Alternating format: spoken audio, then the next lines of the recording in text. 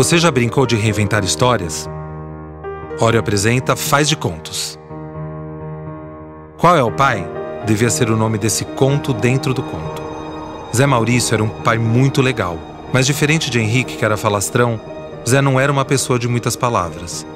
Sempre brincava com Plínio e Mateus, seus dois filhos, de qualquer brincadeira que eles propusessem, o que divertia muito a família e deixava os dias mais leves.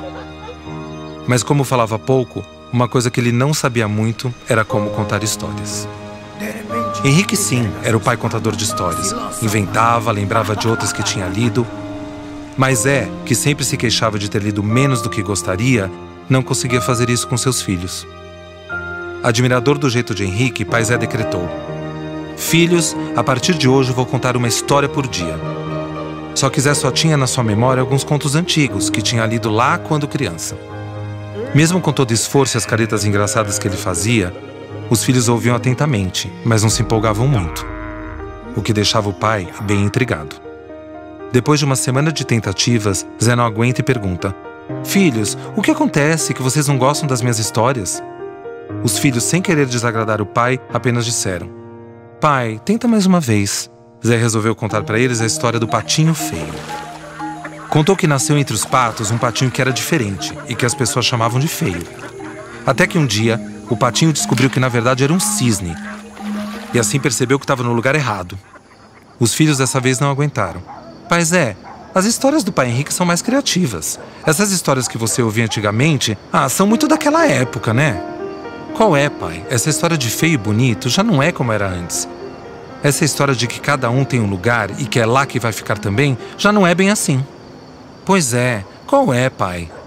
Zé fez uma nova careta, mas dessa vez foi de surpresa. Um pouco envergonhado, pergunta: Mas vocês não pensam sobre isso? E os filhos respondem: Claro que sim, mas faria essa história de um jeito diferente. Então Zé os desafiou: Vamos lá, qual seria a versão dessa história de vocês? Plínio diz: Ah, sei lá. De repente o patinho se acha feio porque fala para os amigos que patinho não pode chorar, só as patinhas. Porque ele fingia ser forte quando estava se sentindo fraco, ou porque fingiu quando estava amando. Ah, e no futebol ele dava muito carrinho.